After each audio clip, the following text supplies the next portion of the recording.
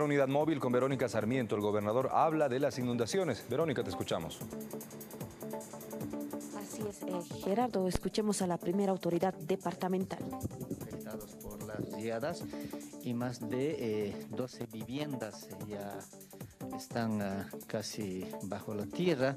El día de ayer hemos, hemos estado. Hoy vamos a tener la oportunidad de hacer un sobrevuelo con el hermano viceministro de Defensa civil para ah, ya cuantificar los daños ocasionados y posteriormente hacer una evaluación para el respectivo apoyo a las comunidades. ¿Ha podido conversar con las familias afectadas en estas inspecciones, gobernador? El día de ayer hemos estado con todas las familias en el municipio de Arque. Bueno, lamentablemente están ah, ahorita ah, en el campamento de un coliseo municipal que es del Arque.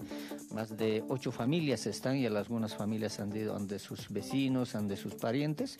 Sin embargo, hoy vamos a tener ya esa reunión con el hermano viceministro de Defensa Civil para cuantificar y a, hacer las gestiones correspondientes para también ayudar con las viviendas sociales. ¿Cuál es, la evaluación a nivel departamental? Gobernador, ¿qué ha podido observar usted? ¿Qué ha llegado al lugar?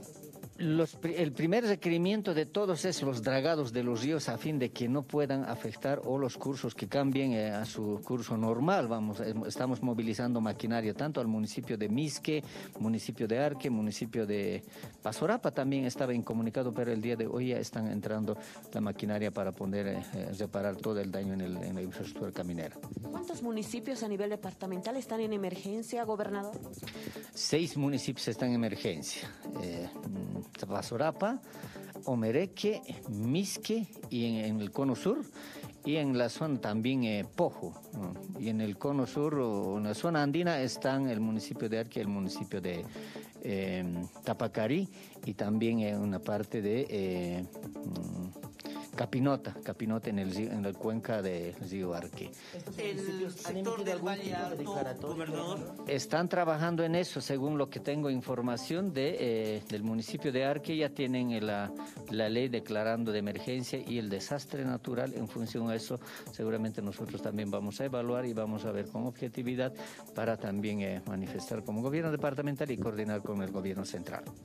Gobernador, ya en otro tema, se viene en la fiesta de Año Nuevo. Hay municipios como Cercado y Sacaba que han ampliado sus horarios hasta las 5 o 6 de la mañana.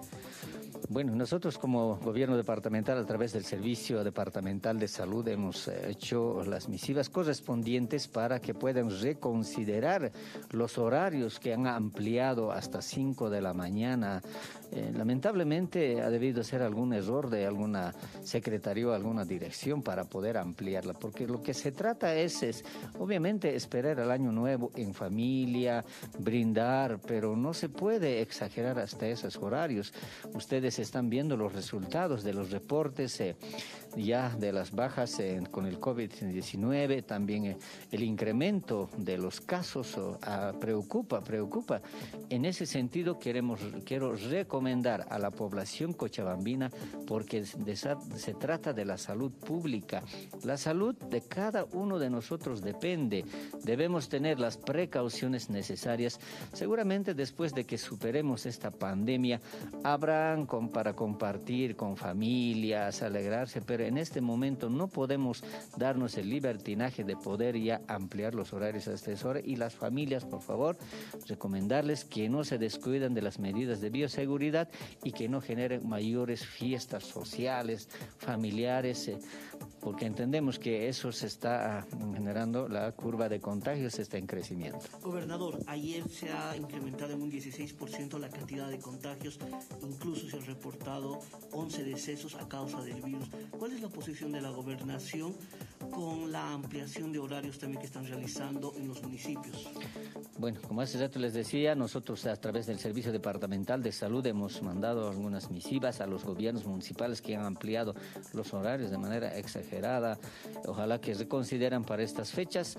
También debemos, uh, tienen que tomar en cuenta y la recomendación para los gobiernos municipales que deben hacer los controles estrictos en, con las guardias municipales, como tienen organizados para los, los ah, mm, expendio de bebidas alcohólicas en algunos sectores. Esperamos que no suceda eso, pero no es por demás hacer los controles periódicos. Nosotros también vamos a estar monitoreando todo el trabajo que realizan los gobiernos municipales. Pero Palabras uh, del gobernador de Cochabamba, quien ha ratificado su pedido a los municipios que han ampliado sus horarios de reconsiderar esta uh, postura para evitar que continúen proliferando, en este caso, los casos y los contagios de COVID-19, que ya lo decimos en las últimas jornadas, se han incrementado en Cochabamba y que, eh, bueno, ya uh, se ha incluso aumentado el número de decesos por este eh, virus.